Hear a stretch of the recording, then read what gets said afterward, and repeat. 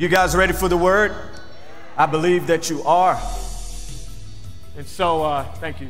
You can just set that right there. You, sit over here a little bit. That work. Thank you.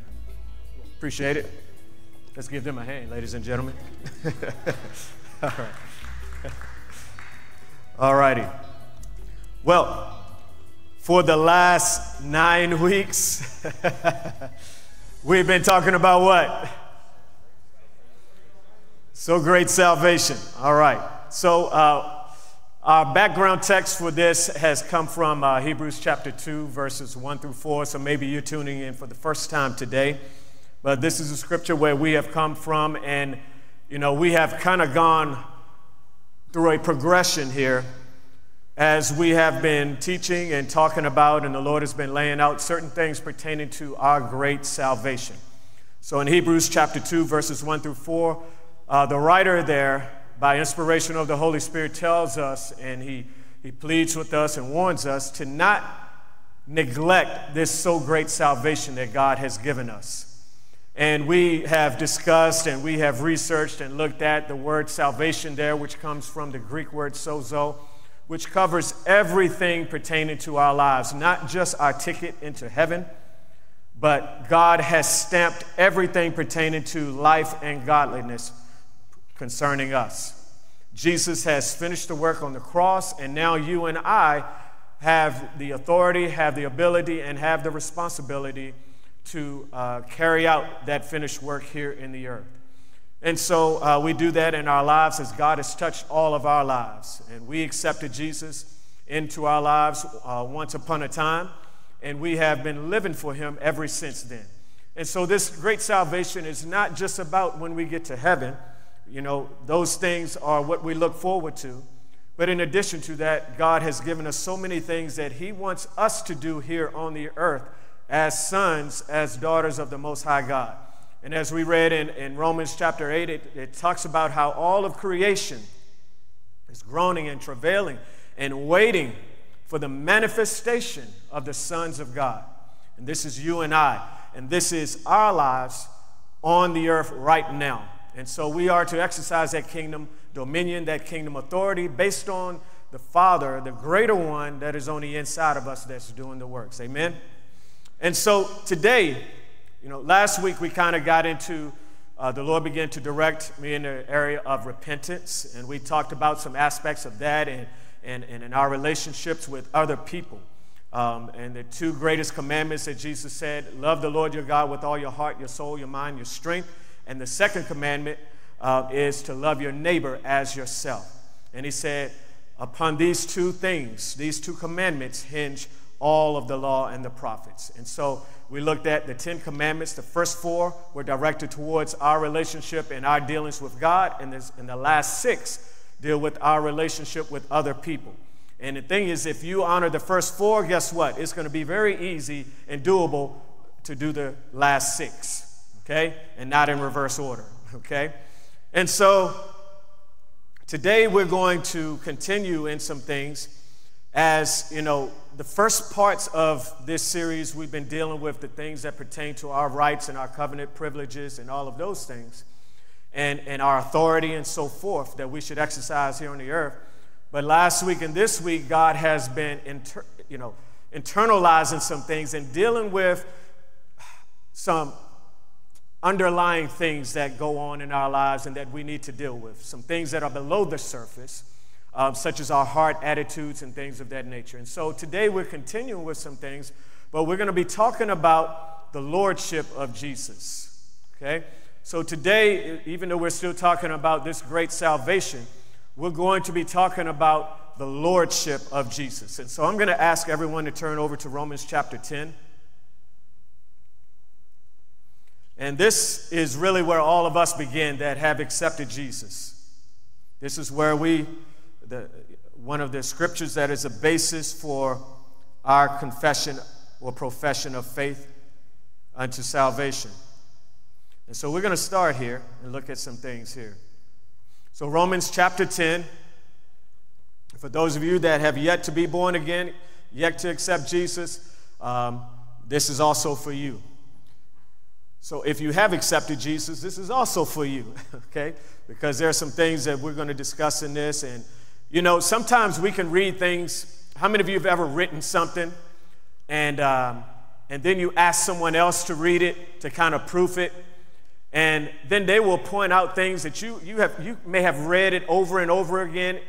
And then somebody else can come along and read it and they'll point out something, whether it's a grammatical error or whether it's, you know, something that maybe wasn't quite as clear as what you were trying to express it, but you didn't see it up until that time.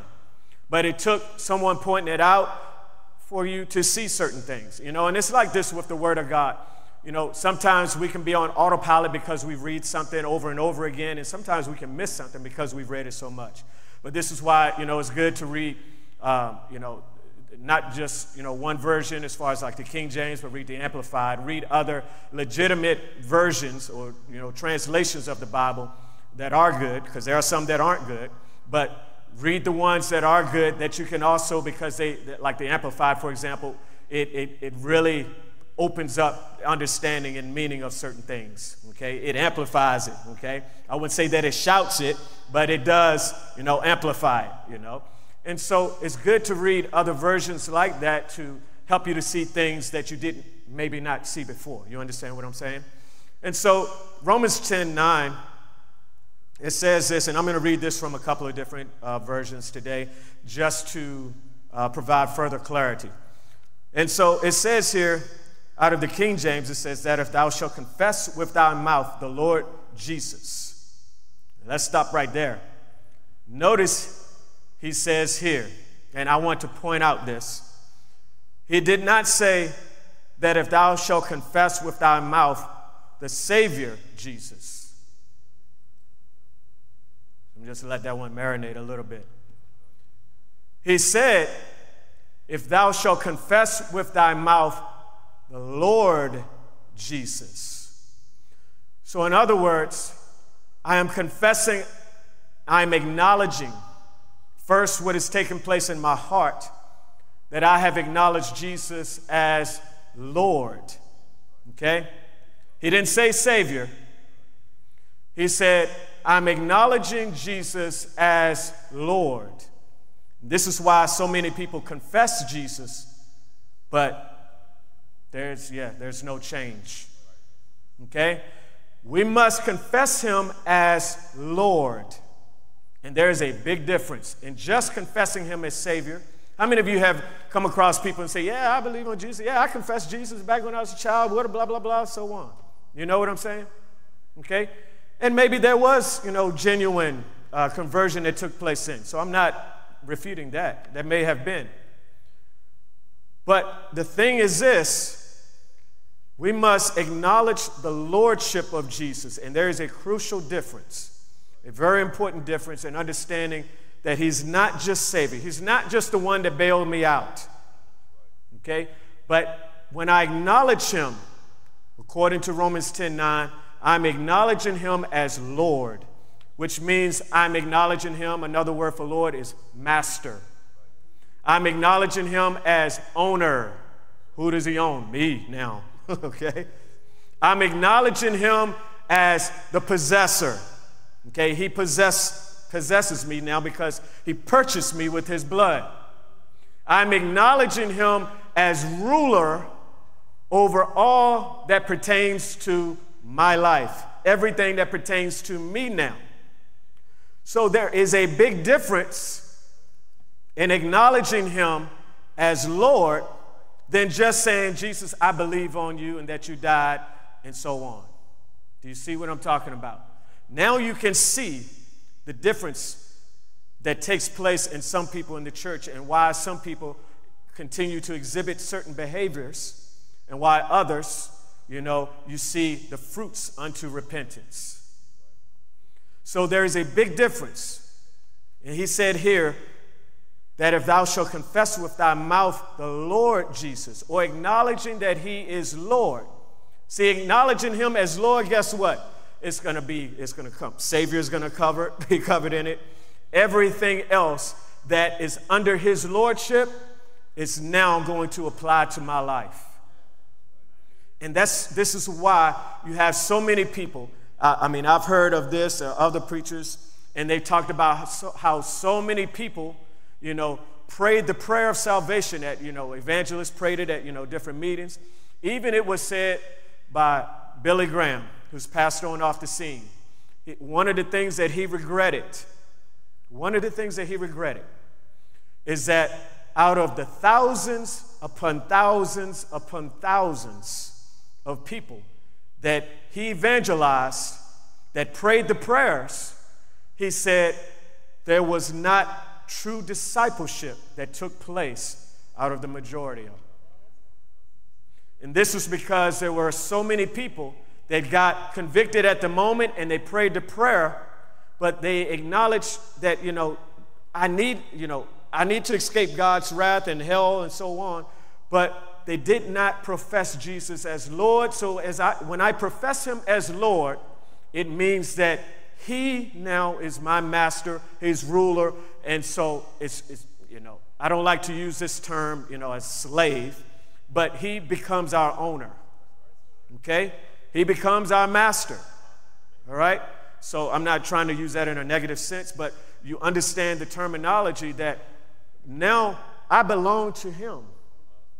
And this, you know, some people say, well, you know, this is where some this is why there's conflict and this is why we see certain things going on because we have not understood what it means to confess Jesus as Lord. Okay?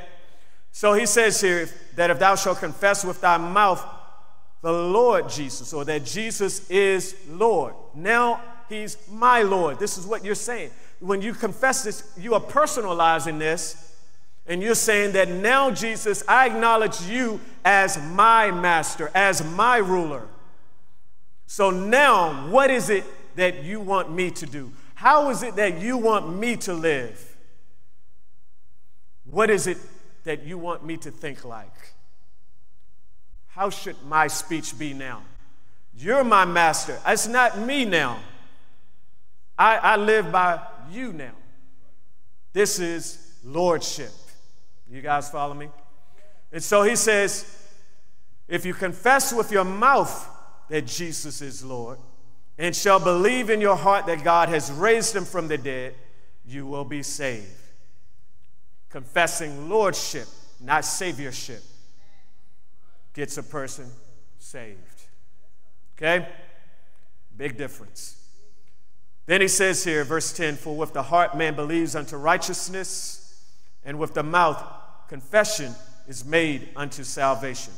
For the scripture says, Whosoever shall believe on him shall not be ashamed.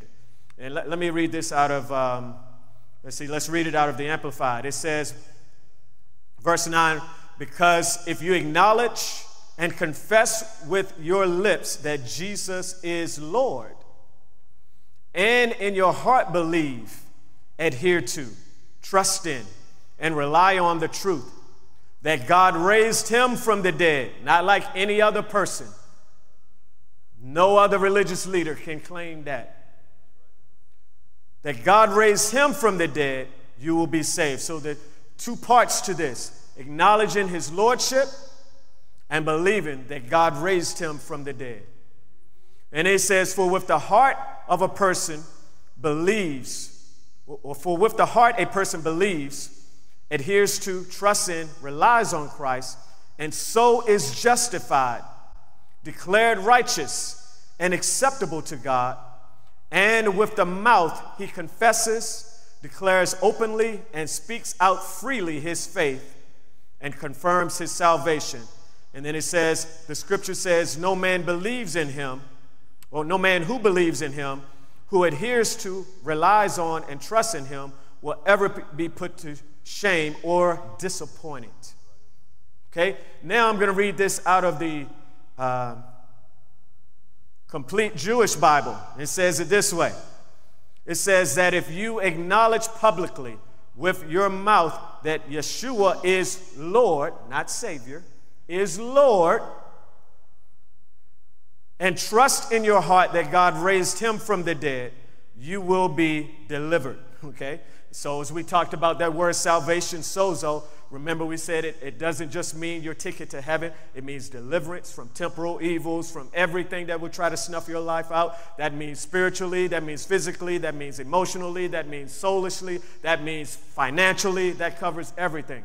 Okay? And it says, For with the heart one goes on trusting, and listen to this, and thus continues towards righteousness while the mouth, with the mouth, one keeps on. So it's not just, I, it's a one and done. It's an every day, it says, keeps on making public acknowledgement and thus continues towards deliverance. So every day, I'm acknowledging and I'm speaking out the lordship of Jesus Christ. Why? Because when I got born again, that was just the beginning. And, and through the process, um, you know, guess what? We don't become any more righteous than the day that we got born again. But as we have talked about, there is a process of sanctification that takes place.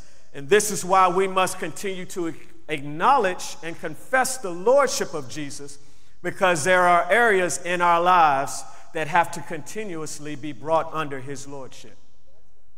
There are areas where God begins to show us things that we didn't see or know at first but He shows us as we grow, as we hear the word.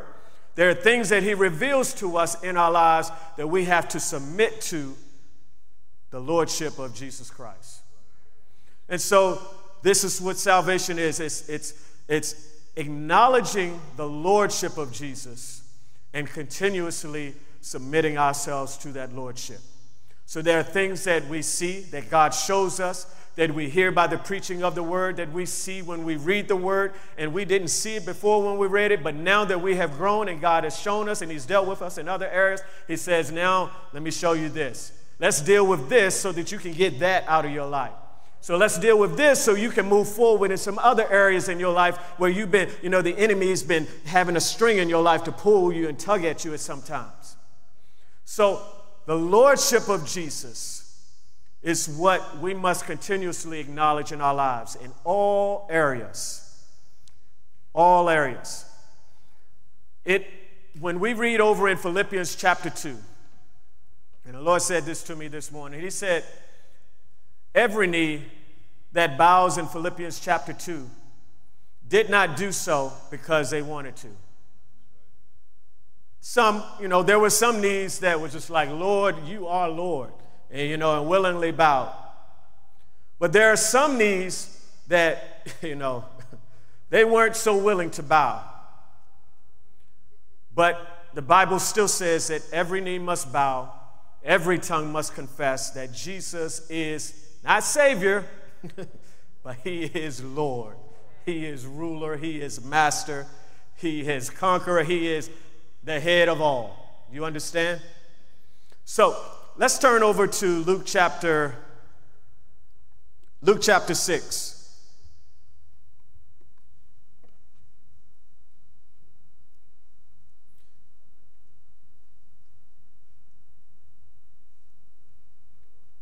Luke chapter 6, and we're going to begin at verse 46. You guys there? Are you there? I'll wait for you. You're worth waiting on. All right. In Luke chapter 6, verse, um, excuse me. All right, let's start in verse uh, 46. And he says this, and this is Jesus speaking here. And he says, Why call ye me Lord, Lord, or Master, ruler, and do not do the things which I say. So, just to give you a little backdrop here, now, Jesus had 12 disciples that he mentored. It was basically like an apprenticeship. So, he called them, asked them, you know, told them to follow him, and so on. And during it, that three to three and a half years, he taught them, he instructed them, and then he had them demonstrate. Okay? And, and this was their discipleship, and this is how all of us should be discipled. You know, we're instructed, but not just so that we can be puffed up with knowledge, but also he sent them out to do what he instructed them to do. Okay? He taught them how to do the things that, that they did so that when he would move on, guess what? They would know how to carry on just as he did. And so this is why oftentimes they, they knew that they had been with the Lord, you know, the religious leaders and other people because of the speech that they had, because of the demonstration of the power of God that they displayed, was because of the things that they had learned, okay, while they were with Jesus. Jesus is telling them as their rabbi, as their master, their teacher, he's saying, Don't call me master unless you're going to do what I say to do. So, in other words, he was really challenging them because they had their own paradigms about how to do certain things. And he was telling them, okay, I know what you know and where you are and, and all of that, but listen to what I'm saying. Do you hear what I'm saying to you? If you want to see this, do what I'm telling you to do. Okay? And this is how, what we see in the Word of God. He says, If you call me Lord, do what I'm instructing you to do because I already know what's going on in your life. I already know the problems that you're dealing with. I already understand. So listen to what I'm trying to tell you to help you. Let me be Lord in your life so that the things that are in your life can now be brought under my lordship so that that situation can now be turned around in your life. Do you hear what I'm saying to you?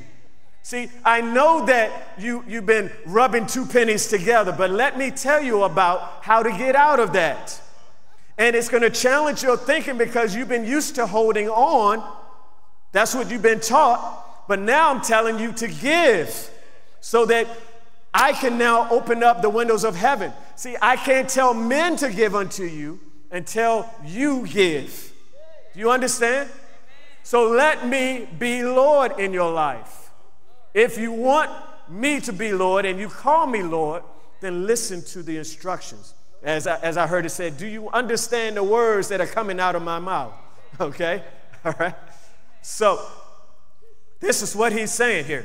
Don't call me Lord if you're not going to do what I'm saying to do. If you call me Lord, trust me to be Lord. Trust what I say is so. This is what he's saying here. Okay?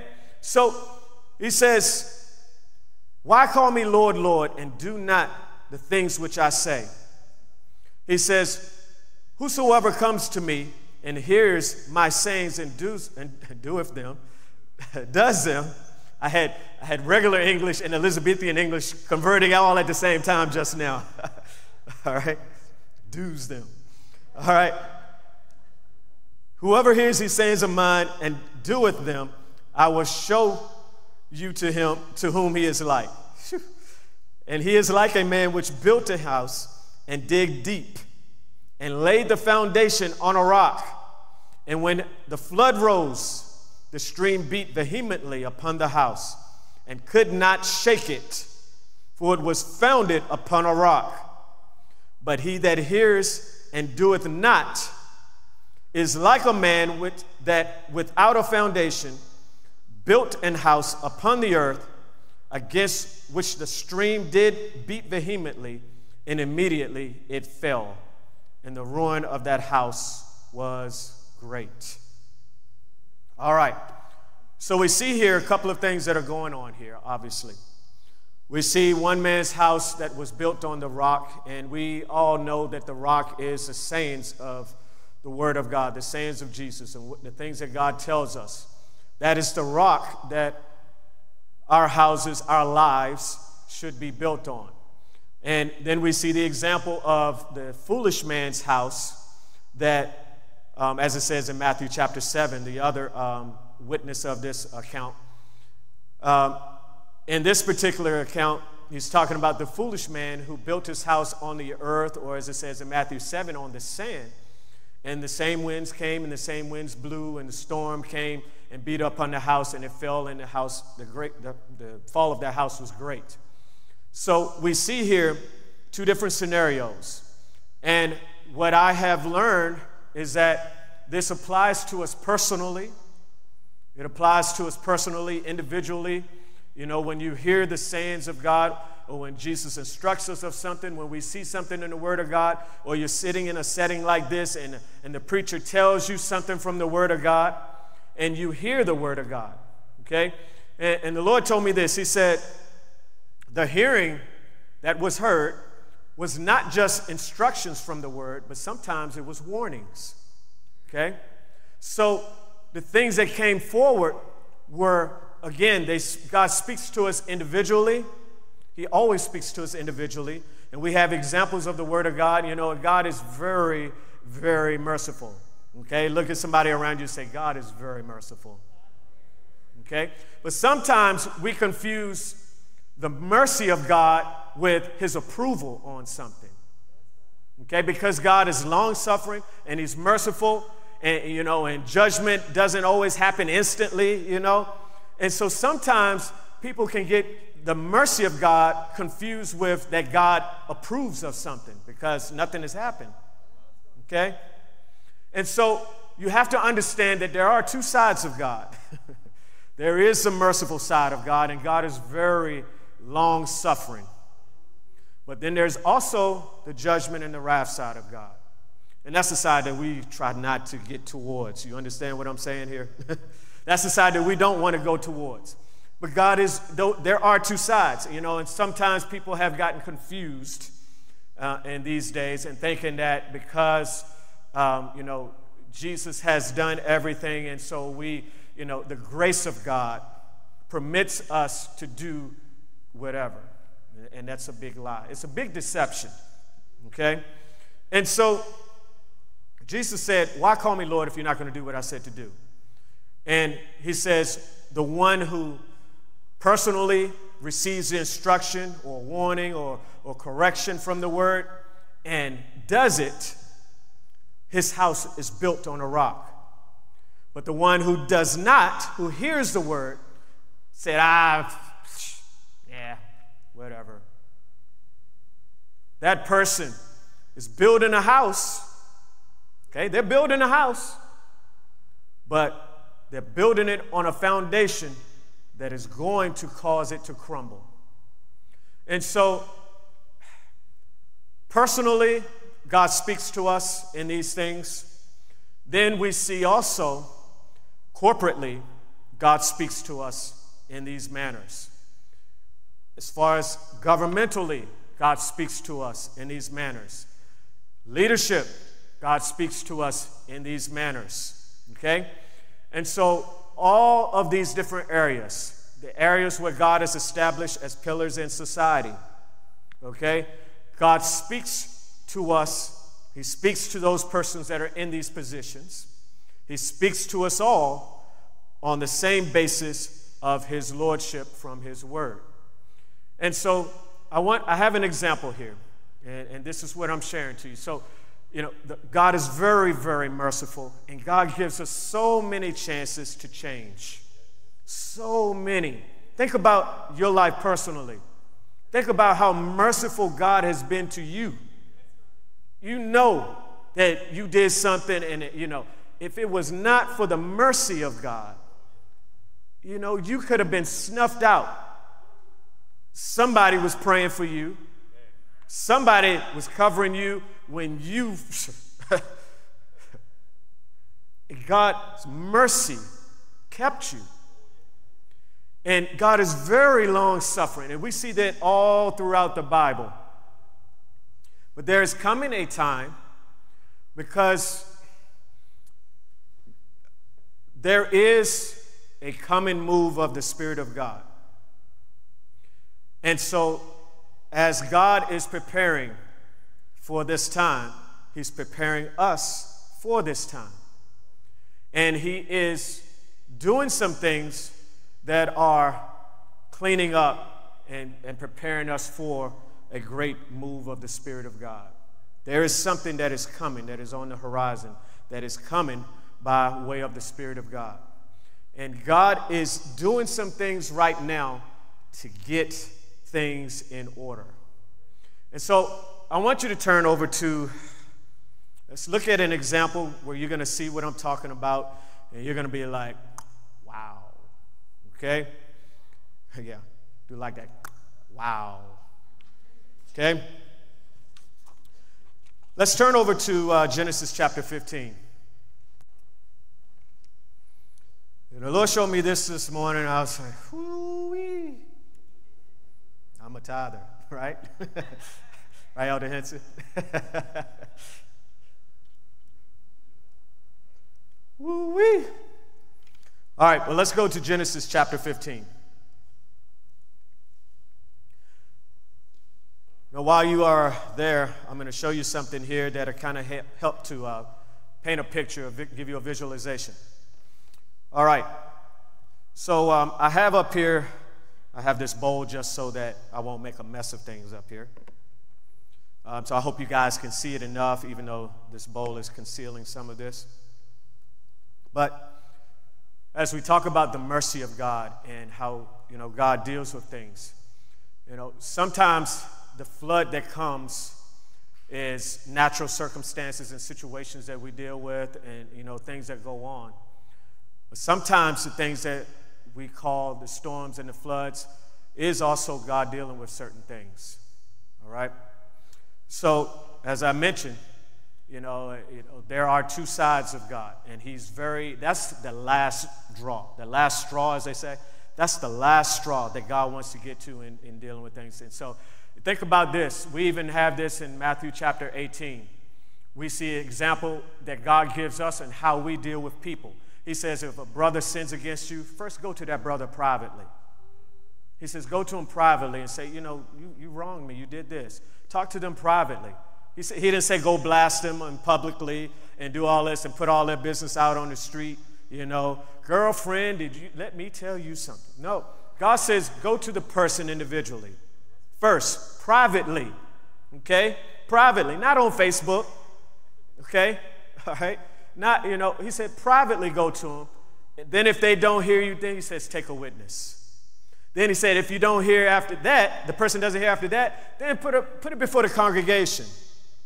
And then he says if they don't receive it, then treat them like a pagan or like a tax collector. You know how we like the tax collectors. All right? All right?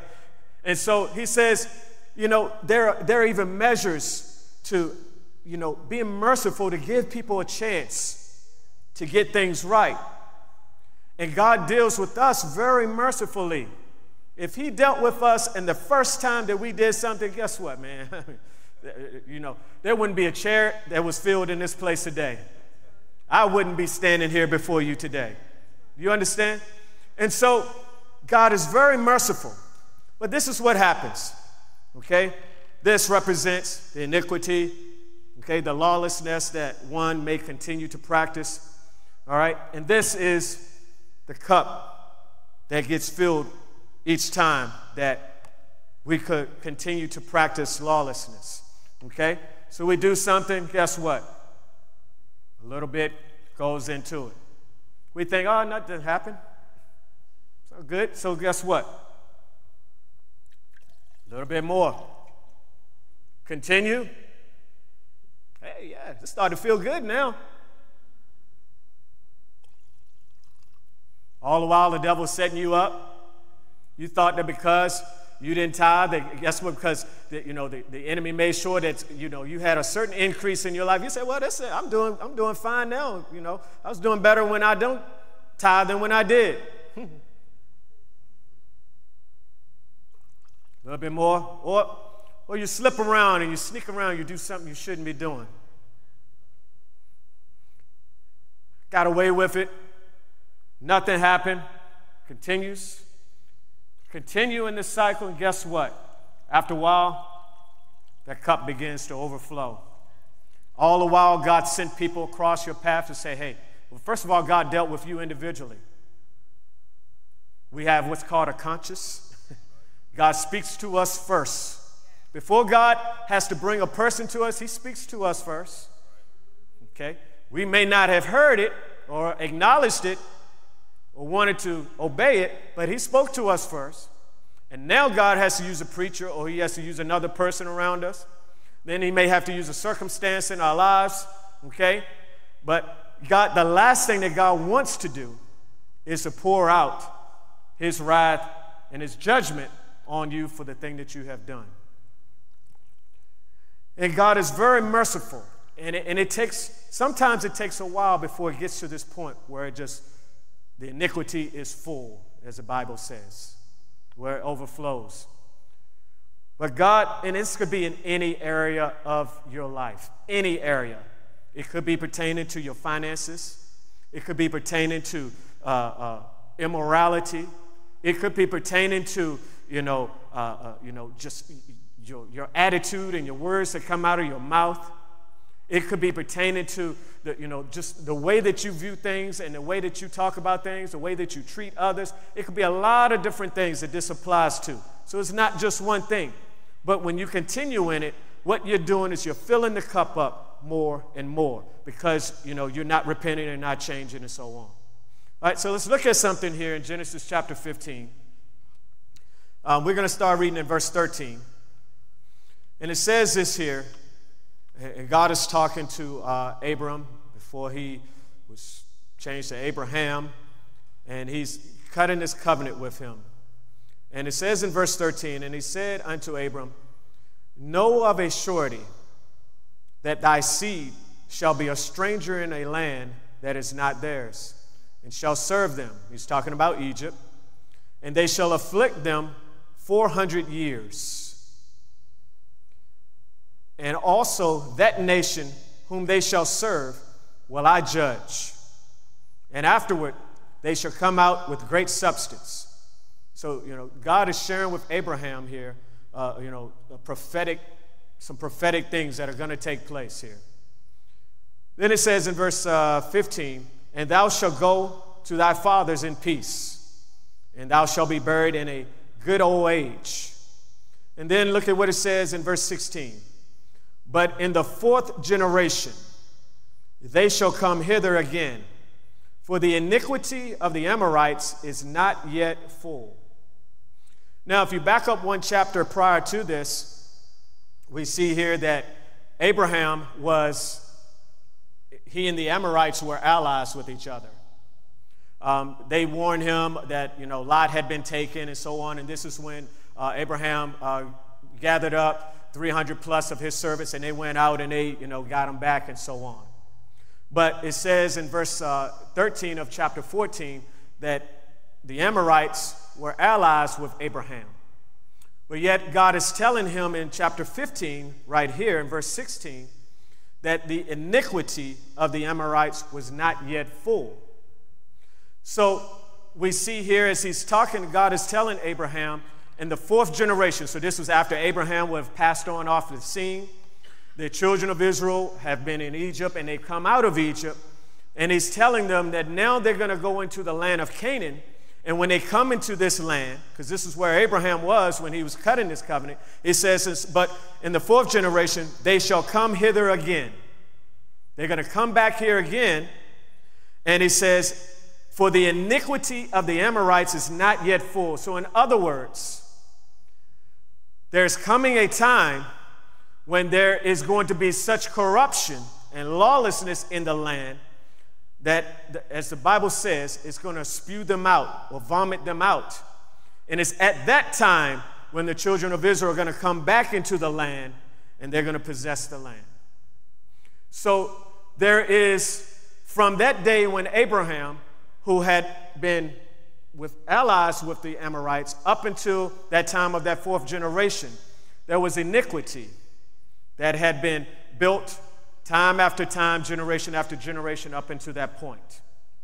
And so I want you guys to read this this week. Read, because we're not going to go through all of it, but read Leviticus chapter 18 and chapter 20. And we're going to look at some things in this, and you're going to see our nation in the things that we will cover or that you will read in this.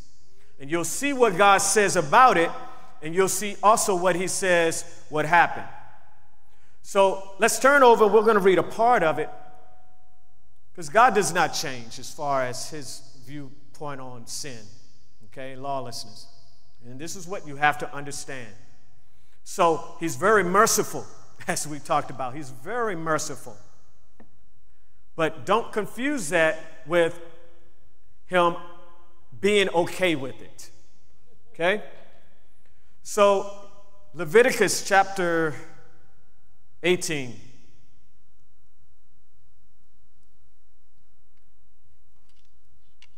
Now the Lord is speaking unto Moses, and he's telling Moses, he's, warning, he's telling Moses so that he can warn the children of Israel. Right? We're now in, going into that, that generation that God had told Abraham about. And he's warning them when you get into this land, you, you need to look out for these things.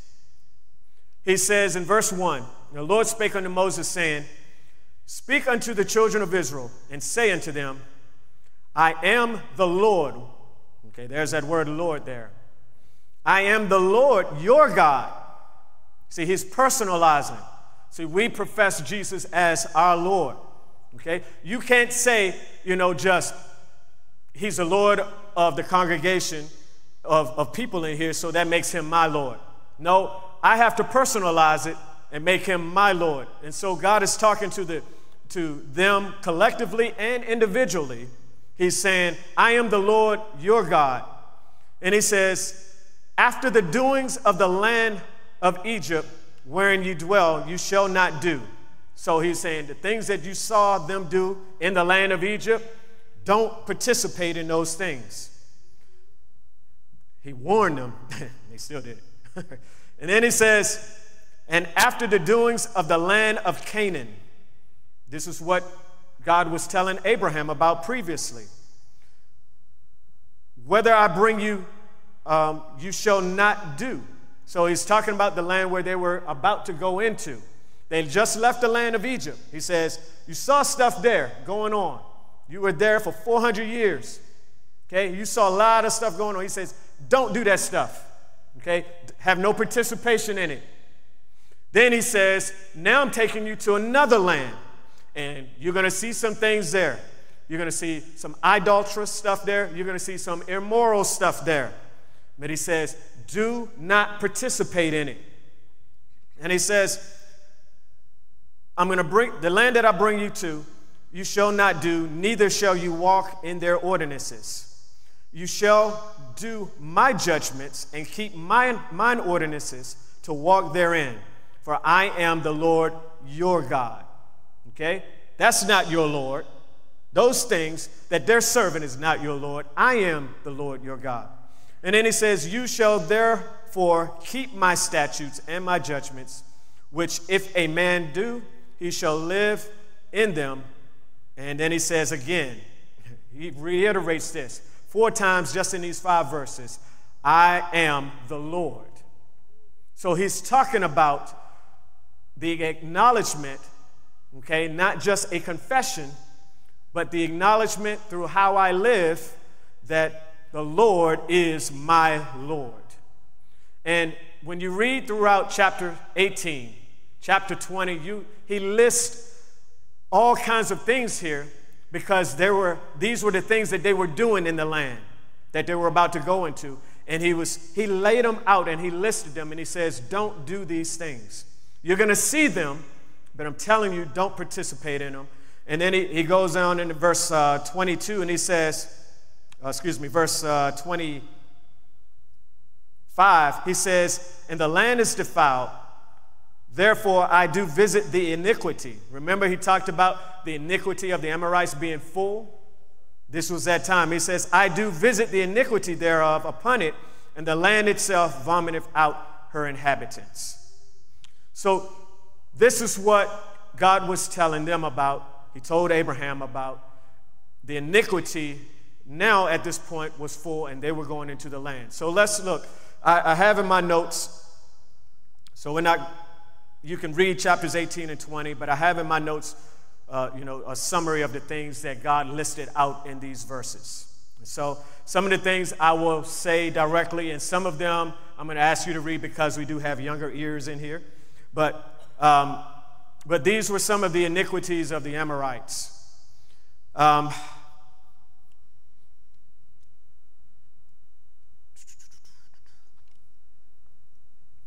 one,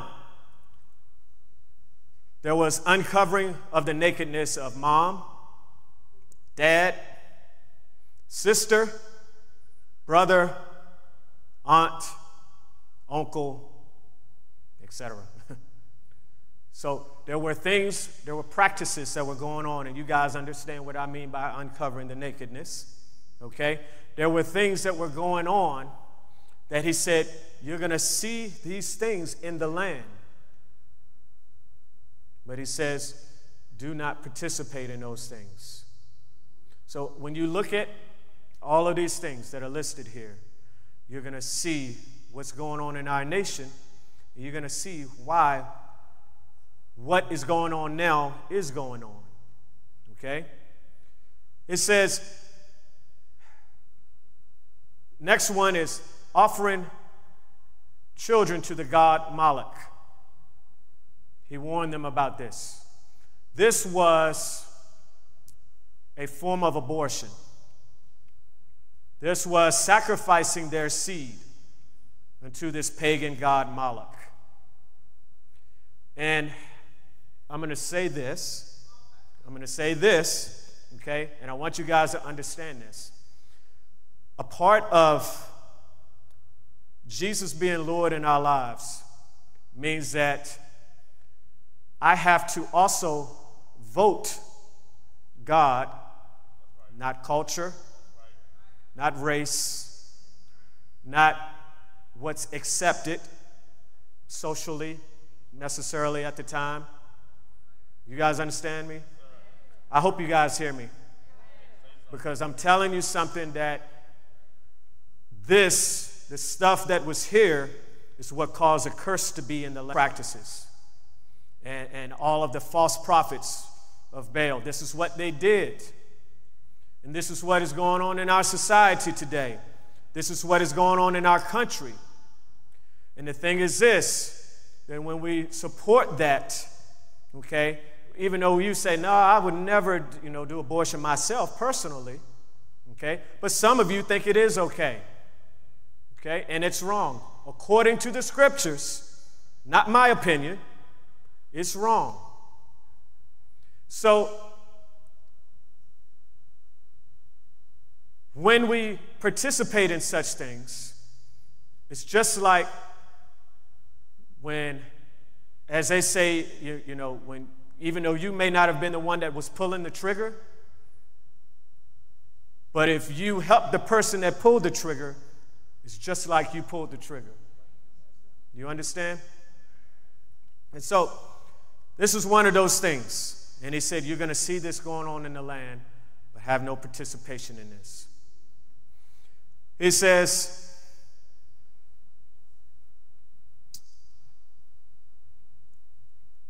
not lying with a male as with a woman.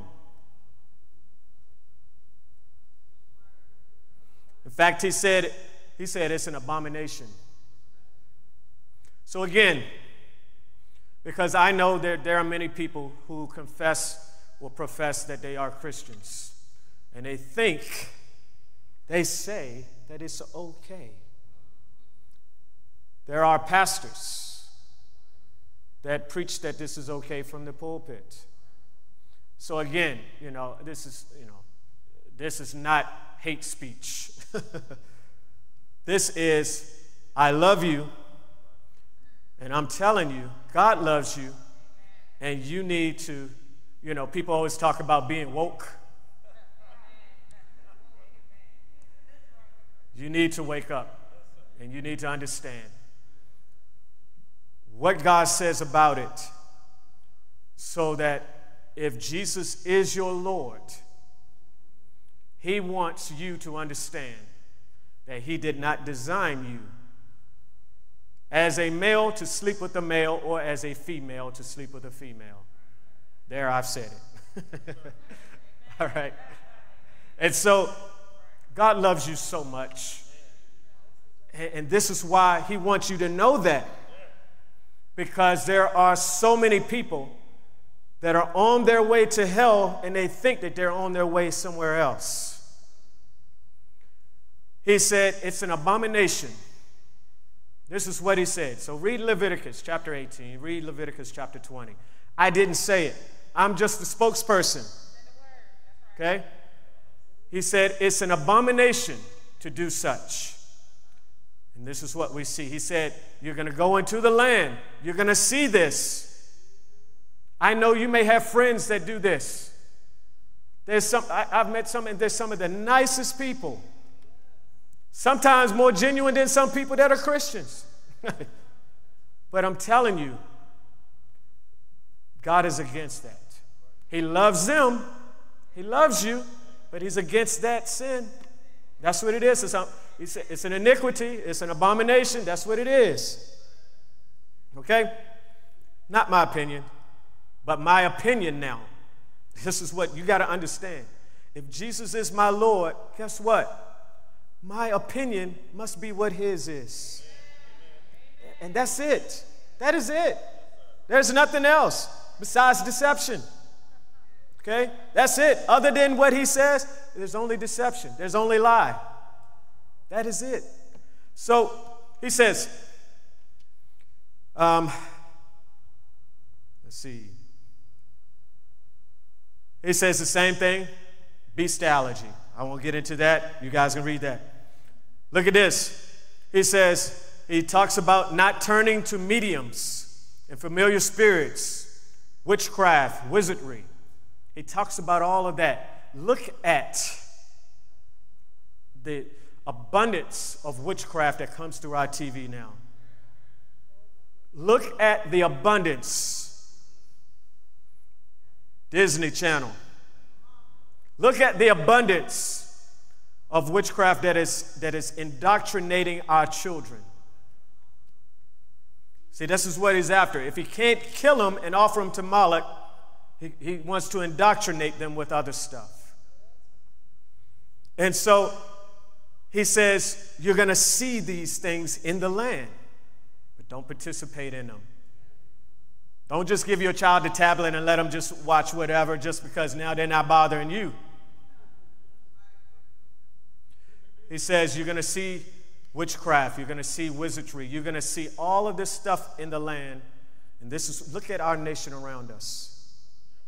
It's full of it. It's full of it. But God wants to fill his land with something else. This is what I'm saying. He says, um, cursing father or mother. He talks about that. Committing adultery with your neighbor's wife. Lies with his father's wife. Lies with his daughter in law.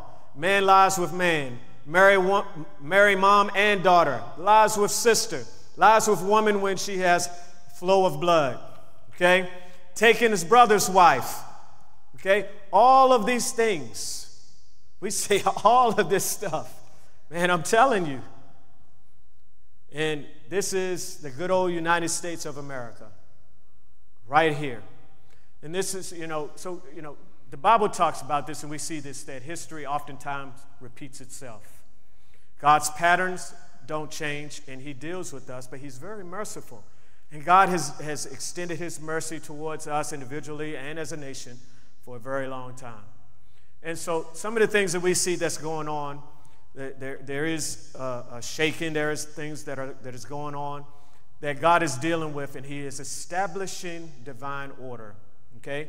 And, and what we're going to see, and as the Bible talks about, judgment first begins in the house of God. And why is that? Because we are the doorkeepers, we are the gatekeepers. And the reason that a lot of these things that we see going on in our nation is because we have allowed them through the church. Okay? And, and they have been allowed in other positions of authority in our, in our society that God has established as pillars of authority. And this is why we see those things, you know, prevalent going on. And so all of these things that were listed here, and I pray that you guys read them this week. You know, and it's, you know, somebody saying, well, that was the Old Testament, you know, it's Bible. Okay? It's God's law that does not change. He's merciful. Jesus came to fulfill the law, not to do away with it. You understand? He's given us, you know, by what he conquered because we could not, you know, necessarily do all of the things that God says, you do this and so on. You know, we were Jesus came and he did what we could not do, so now we can do what he has done through his cross. All right, this is what the grace of God does for us. It gives us the ability now to identify the areas where we were in sin or in lawlessness, and now we can repent and we can turn to God and we can live righteously and holy before Him. Okay?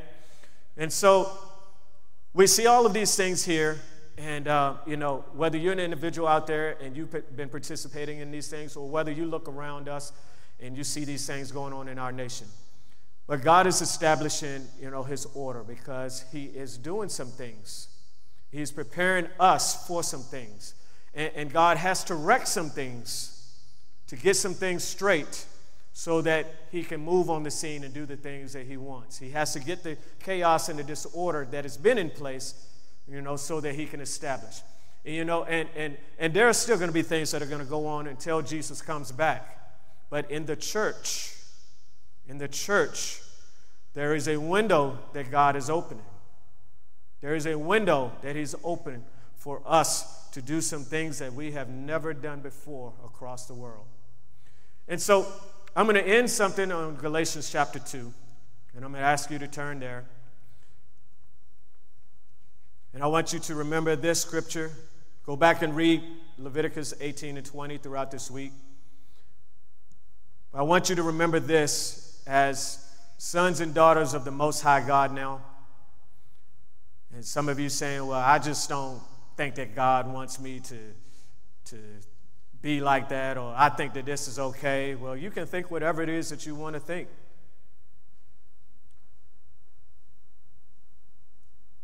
But God loves you, and He wants you to understand what is right in His sight and how the enemy has deceived people through other means. In Galatians chapter 2, uh, verse 20, it says, I am crucified with Christ. That's it. So you understand that? So when we talk about I'm crucified with Christ, guess what? I don't have any more opinion of what his is. What do you think about it? Well, let's see what the word says about it. What do you, what do you think about, uh, you know, what, let's, let's see what the word says about it. That's, that's what I have to think about it. You understand? So, uh, uh, so he says, I am crucified with Christ, nevertheless I live. But get this understanding, yet not I, even though I'm living, it's Christ that lives in me and through me. And the life which I now live in the flesh, I live by the faith of the Son of God who loved me and gave himself for me. And the uh, Amplified, it says it this way it says, For I have been crucified with Christ. In him, I have shared his crucifixion.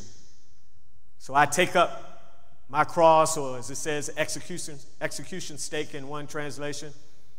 I take up my cross. I've been crucified with him. Just when Jesus was crucified, I was crucified as well. So, guess what? What my opinion is, is what his opinion is. What my take on it is, is what his take on it. What he says, that's what I say. What he does, hey, that's what I do. That's it. That's it. I've been crucified with Christ. In him, I have shared his crucifixion. It is no longer I who live it is no longer I who expresses my opinion on the matter. it is no longer I, okay, but it is Christ, the Messiah, who lives in me.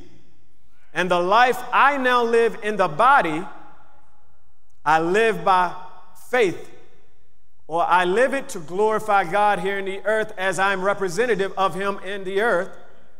I am as an individual and as a body of Christ collectively, we are the seat of authority here in the earth. So I represent heaven. I don't come to the earth with my own ideologies and what I think. I come representing what heaven's government has told me to bring before you. So I live by faith in, in or by adherence to and reliance on and complete trust in the Son of God. If you call me Lord, trust what I say. Do what I say to do. Do what you see me do. I live in, by faith in the Son of God who loved me and gave himself up for me. Amen. Amen. Amen. I'm going to stop right there. Enough said. so, this week, check it out, peep it out, get woke as to what God is saying to you and to me in these days because God is doing some wonderful things. Um, you know, and, and I, you know, I know that as we are approaching God's season, I know that God is dealing with some things right now. I know that as we approach Rosh Hashanah, as we approach Yom Kippur and Tabernacles, I know that God is dealing with some things. So I hope that you guys recognize and, and that you see some things that will take place uh, after that.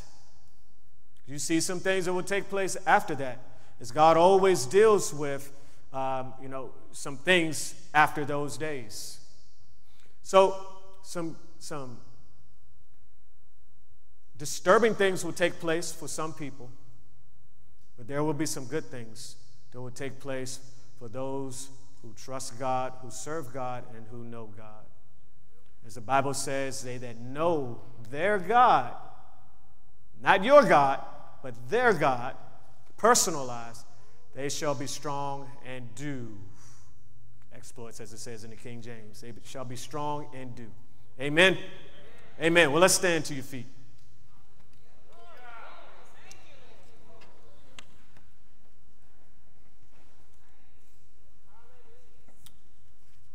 So this week, um, read Leviticus 18 and 20. Um, review what we just read in Galatians 2:20, and then add to this also Romans chapter 1, verses 26 through 32. Romans chapter 1, verses 26 through 32. So this is a uh, New Testament reference of some of the things that I um, that Leviticus 18 and 20 talk about. Somebody says, well, that's the Old Testament, blah, blah, blah. You know how some people are with that. So read Romans chapter 1, verses 26 through 32 as well. Know what the Lord says. Amen.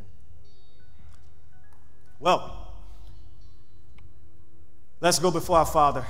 Father, we bless you today. And we thank you for the things that you have spoken to us. We love you, Father, and we know that you love, your, your word says that you love the world. You knew all of this sin and iniquity that was in the world. And so we know that you love every person. There's not a person on this earth that Jesus did not come and die for. And so we thank you for that love that you've expressed toward us, Father. That love, Father, that tells us the truth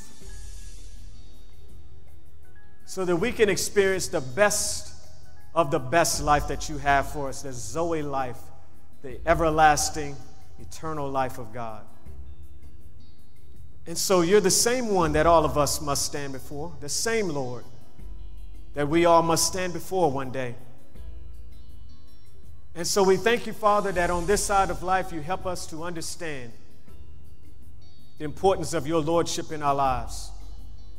To know that if you tell us something, that even if we don't understand it or agree with it at first, Father, that you're telling us something because you have our best interests at heart.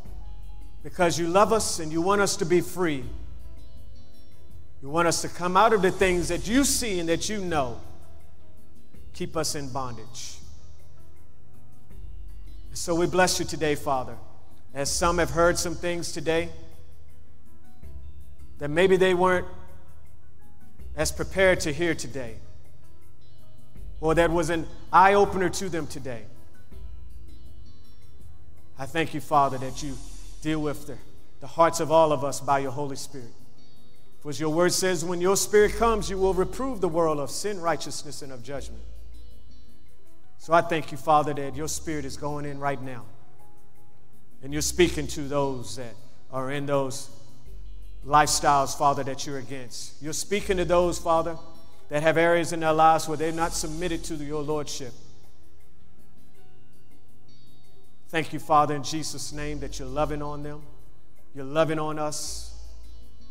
And you're letting them know, Father, that you're not there to condemn them, but to liberate them, to set them free. For your truth sets us free. And so we bless you today. And we give you all the glory. It belongs to you, oh God. We thank you in Jesus' name. Amen. So if you're out there today and you have never accepted Jesus as not just as Savior, but as Lord,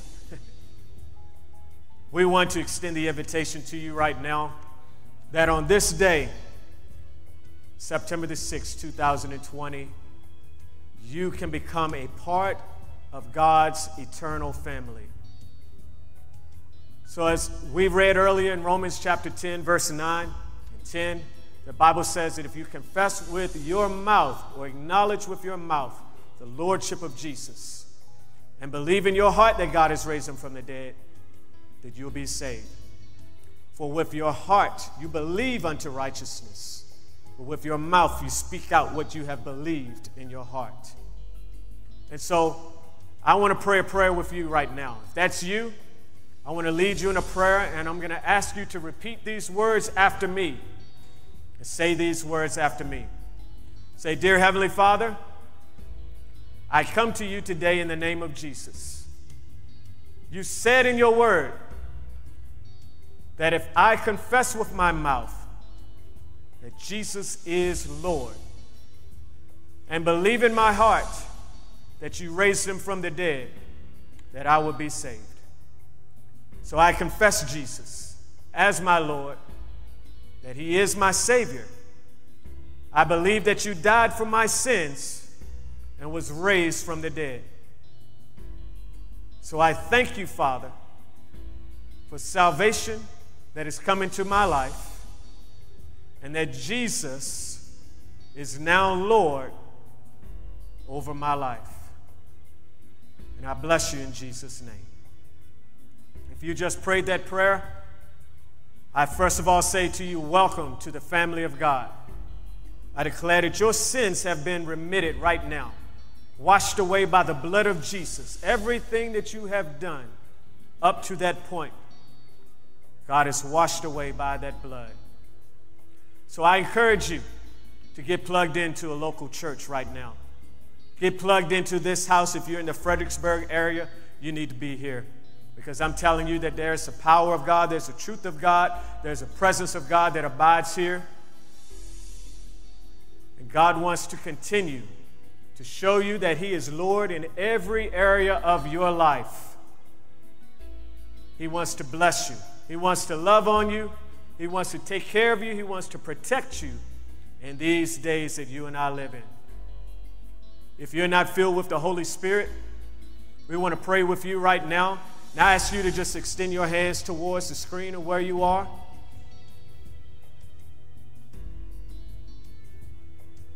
And so the Bible says that they were all filled with the Holy Spirit and they began to speak in other tongues as the Spirit of God gave them utterance. So this is God's Spirit coming on us and filling us not just changing our spirits from death to life, where we became a new creation in Christ Jesus. That's what you just prayed when you accepted Jesus. But God's Spirit also fills you now, where the Bible says that you will become witnesses of Jesus wherever you go. The question was once asked Have you received the Holy Ghost since you believed? And they answered and said, We have not even heard that there so much be a Holy Ghost. so there is receiving salvation Then there's receiving the infilling of the Holy Spirit. And God wants to fill you. You need God's power in these days because there are all kinds of things out there that come against us. But there's a greater one on the inside that is able to withstand and overcome anything that comes against us. And as Apostle Rock said earlier, you look at your circumstance from above and not below it. So I want you to extend your hands if that's you. I want you to extend your hands towards us right now. Father, in the name of Jesus, as there are some that are out there who are desiring to be filled with your Spirit, right now we ask you to fill them with your Holy Spirit to overflow right now in the name of Jesus. They're right now where they are in their, in their home in their car, as their hand is lifted up and extended, you're filling them right now with your power and with your spirit. You're baptizing them with the Holy Ghost and with fire. So just breathe them in right now and then speak out the utterances, the things that are coming. It, it, it sounds different to you right now, and He's welling up on the inside of you from your belly, but allow Him to speak out of your mouth the Holy Spirit is filling you right now. And the Bible says that they were all filled with the Holy Spirit and they spoke with other tongues as the Spirit gave utterance, as He gave the, the, the words. You're going to speak in another language. So it's not just gibberish, it's something that God is speaking. The Bible says we speak in the tongue of men and of angels. So I know it's different, but God is speaking through you right now. So allow Him to do so right now. He's filling you right now where you are.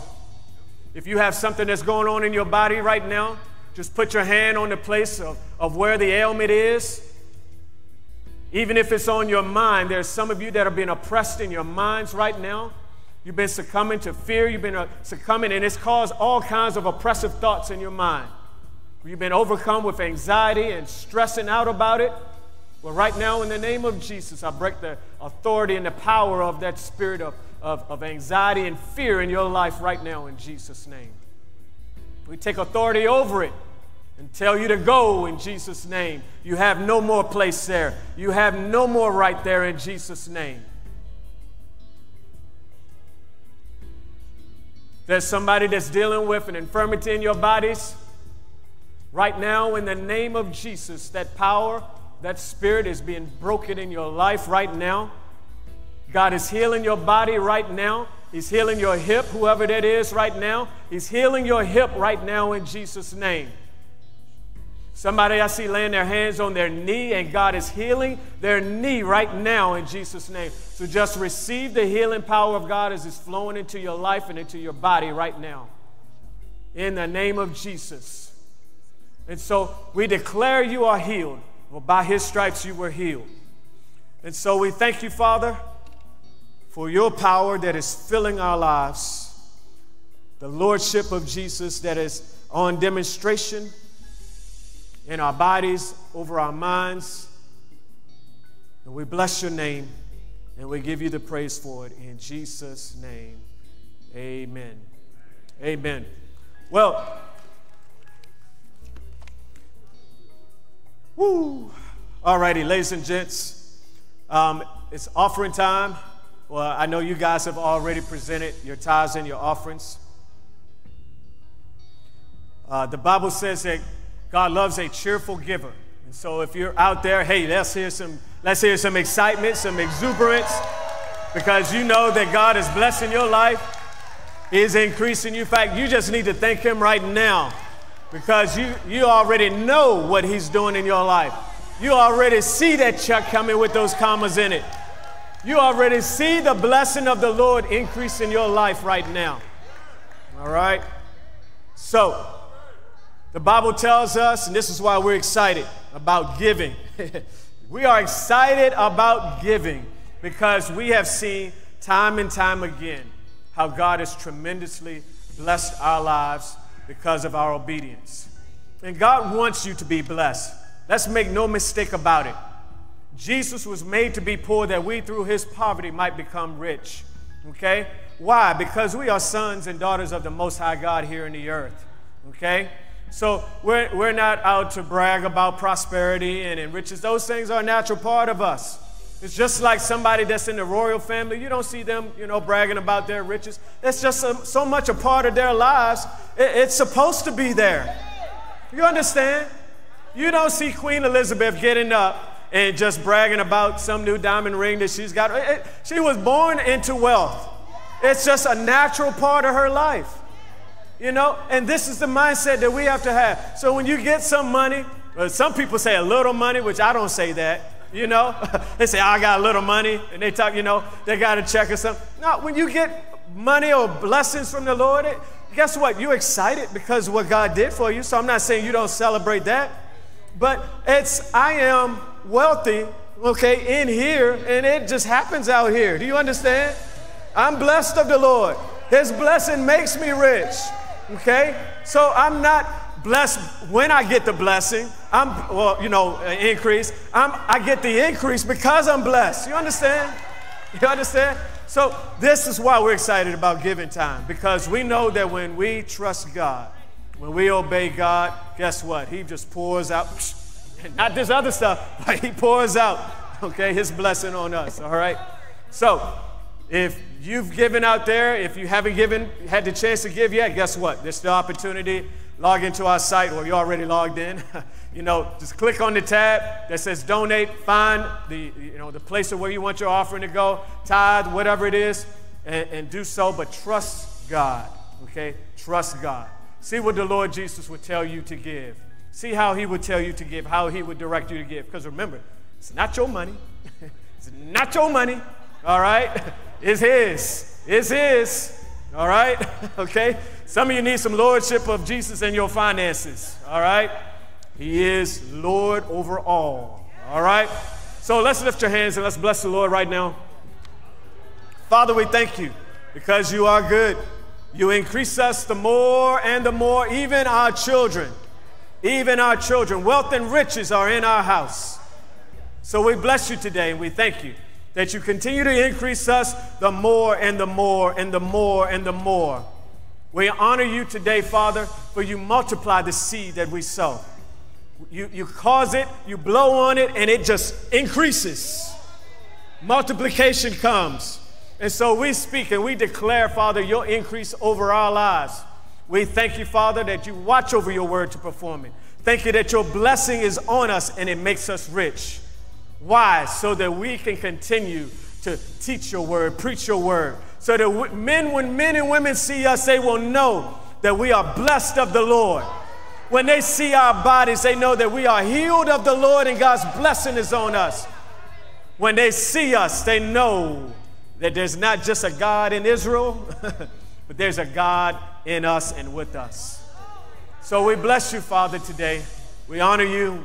We give you the glory and the praise. We turn to you, Jesus, as our faithful high priest.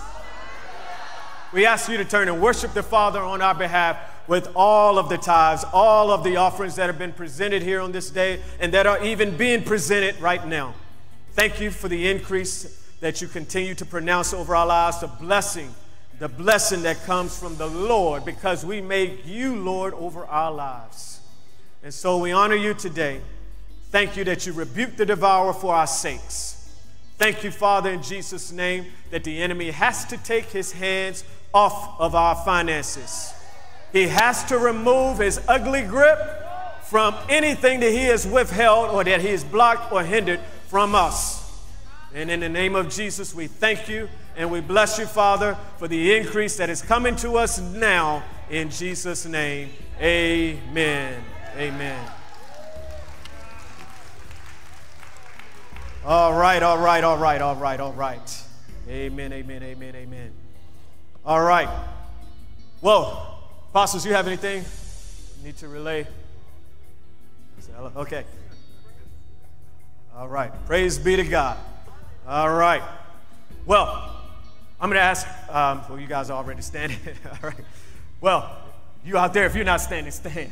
okay. Well, on the behalf of Apostles Chastine and Ella Rock, Um, I am Pastor Milton, and we are Faith Christian Center World Outreach.